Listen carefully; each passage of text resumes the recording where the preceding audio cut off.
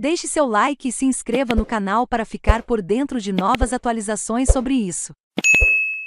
Paysandu X Remo Palpite, saiba onde assistir, planejar e escalar 17/07 Paysandu e Remo se enfrentam pela 13ª rodada do Campeonato Brasileiro Série. O confronto acontece nesta segunda-feira, às 20 horas em Belém, no Estádio Mangueirão.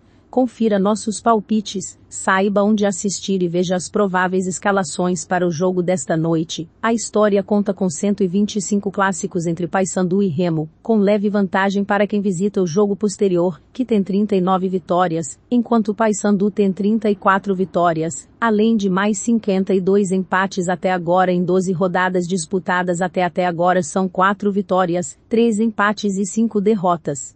Na última rodada venceu o Amazonas fora de casa por 2 a 1. O Remo é o primeiro time na zona de rebaixamento com 13 pontos. Em 12 rodadas o time conquistou 3 vitórias, 4 empates e 5 derrotas. Na competição já são 3 jogos sem vencer, na última rodada perdeu para o Operário, e até jogou diante de sua torcida.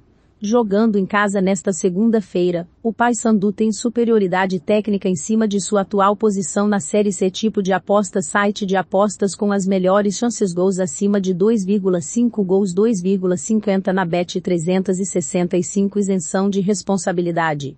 Este site é afiliado e é alimentado por Odiscaner.com. Não há intenção de que as informações fornecidas sejam usadas para fins ilegais. É sua responsabilidade pessoal garantir que todos os requisitos de idade e outros requisitos relevantes sejam atendidos antes de se registrar em qualquer operador de cassino.